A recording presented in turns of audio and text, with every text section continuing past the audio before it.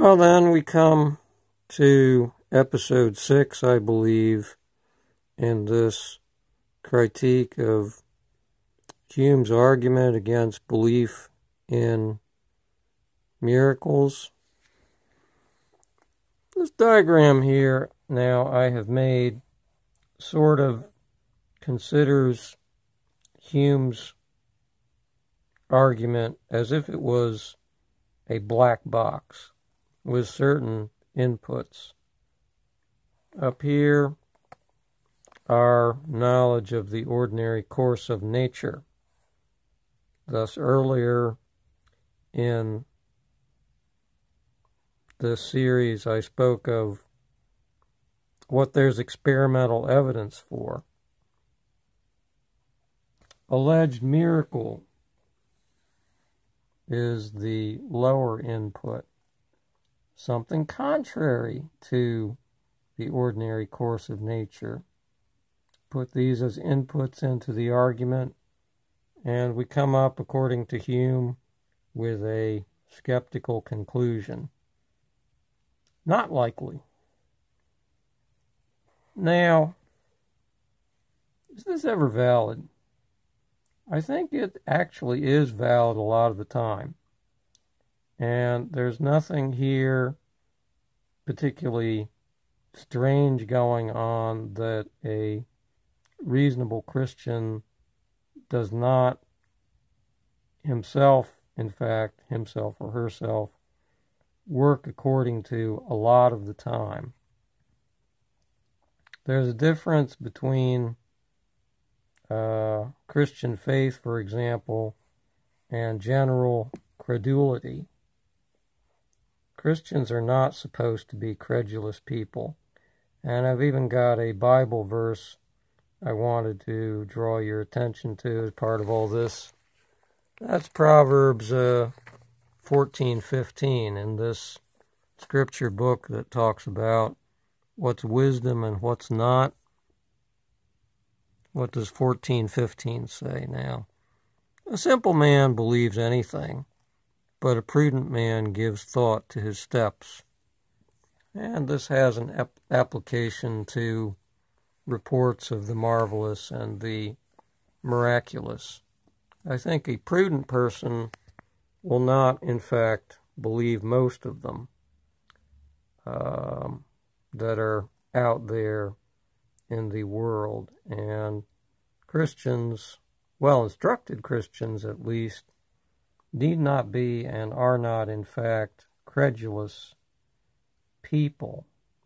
And Hume, growing up in a rather Christian country, Scotland, shows some awareness of this, but I don't think he is sufficiently aware that there's a difference between uh, Christian faith and mere credulity. But anytime you've got a valid argument, or an argument which has a sphere of cases in which it's valid, it cannot be limited to just one application.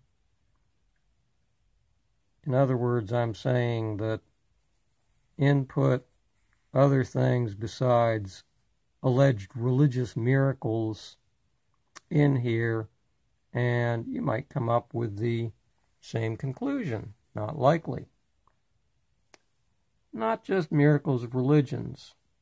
Also, quite apart from irreligion, there's out there a lot of superstition, occultism, uh, credulous belief in psychic phenomena. But actually, also, I draw your attention to what about evolution? At least evolution as a comprehensive theory that is supposed to be refuting God or the God hypothesis. Now, you see, belief in evolution in that sense requires some belief in things that are not according to the current observable course of nature. It requires evolution of intelligent life way back when, where it didn't exist before. Not something we see happening with unintelligent species today. And way further back, abiogenesis, which is just a fancy term, you can look it up, means the generation of non life, or the generation of life from non life. This, although they talk about this happening to get life started sometime in the distant past, is not something we observe happening in the ordinary course of nature today, like uh, uh,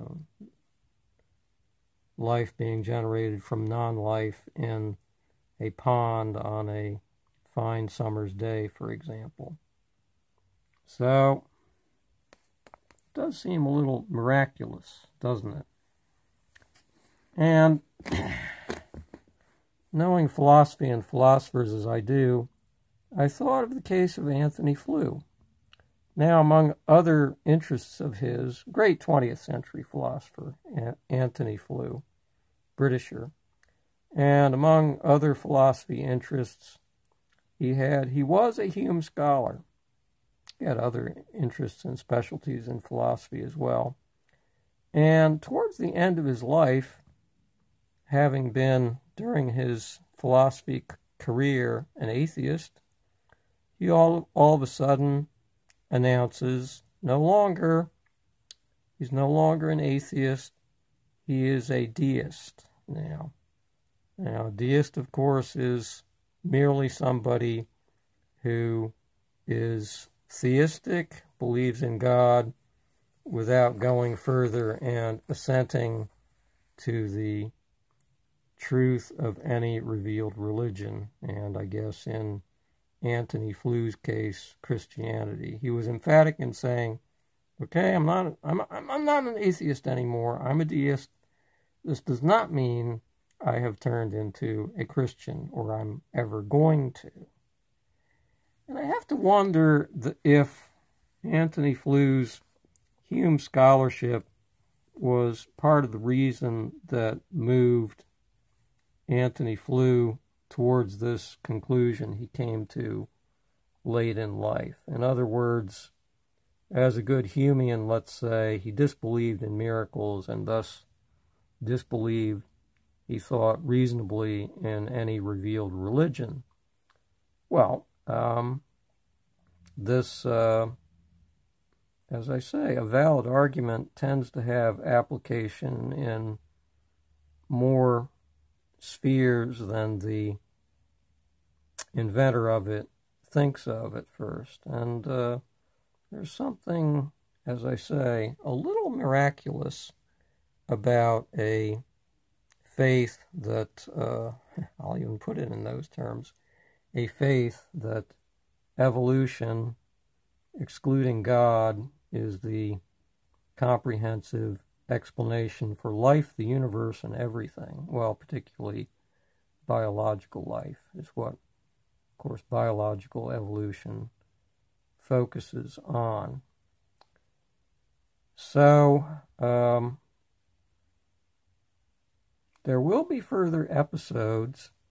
I think I'm going to um, get into a term as a theologian since I have done theological studies as well as philosophical studies, I'm going to, uh, in a future video, give some consideration to the topic of miracles in Scripture and the context in which they appear, their purpose in the Christian revelation, and uh, accepting, as I say, that Hume's argument against the miraculous, the reasonableness of belief in the miraculous, has a certain general validity, explain why, nevertheless, I accept that